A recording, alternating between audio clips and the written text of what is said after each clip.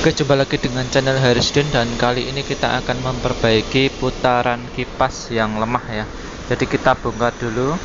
Kemudian kita tes dengan cara menahan as ya. Jadi kita nyalakan kipasnya pada kecepatan rendah dan kita tahan asnya.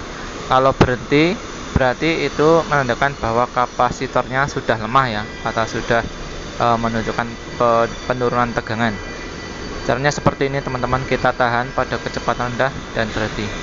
Oke langsung kita bongkar aja bodinya teman-teman. Gampang cuma membongkar uh, eh, 4 biji baut ya. Jadi di sini ada 4 buah biji. Lalu kita congkel menggunakan obeng min. Nah sudah terlepas teman-teman. Kemudian kita keluarkan casingnya ya. Kita keluarkan bodinya Nah, ini ya adalah yang dimaksud dengan kapasitornya, teman-teman. Kapasitor ini berfungsi sebagai menyimpan arus ya. Jadi, buat menyalakan kipas waktu pertama kali ini dari kapasitor yang nanti berfungsi untuk memutar uh, motornya ini. Oke, ini nanti yang akan kita ganti kapasitornya, teman-teman. Kita bongkar dulu lagi kapasitornya, teman-teman. Nah ini adalah kapasitornya ya kapasitor bawaannya ya. Ukurannya 1,8 mikrofarad e, plus minus 5% ya. Jadi nanti kita beli yang sesuai dengan ukuran di e, kapasitor ini. Oke langsung kita potong aja. Teman-teman kapasitornya mudah ya. Kita pakai gunting aja tinggal kita potong seperti biasa kayak memotong kabel nanti kita tinggal sambung dengan kapasitor yang baru.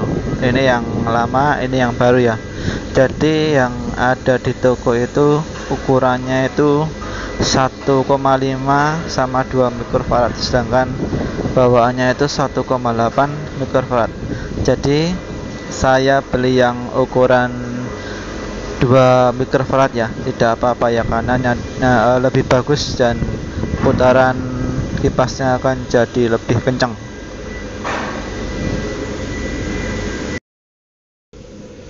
langsung aja kita sambung teman-teman. Kita kelupas dulu kabelnya menggunakan korek api biasa ya. Jadi kita bakar karena jangan digunting. Kalau digunting nanti malah bisa putus uh, tembaganya kita bakar aja tapi hati-hati ini agak panas sedikit oke seperti ini teman-teman Oke, di sini saya menggunakan isolasi bakar, teman-teman. E, bisa juga menggunakan isolasi yang gulungan yang hitam sama aja, tergantung apa yang kita punya ya. Karena ini sangat umum sekali ada di toko-toko kelontong.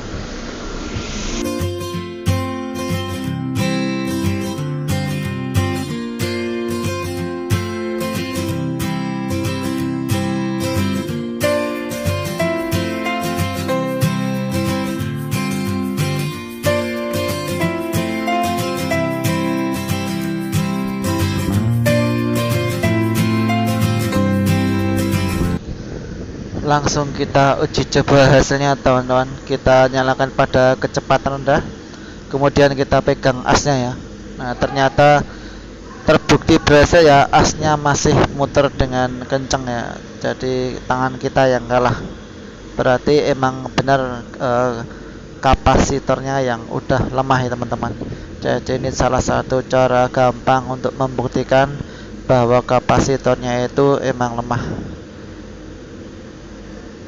Oke teman-teman uh, seperti ini videonya. Semoga bermanfaat dan sampai jumpa lagi di video saya berikutnya.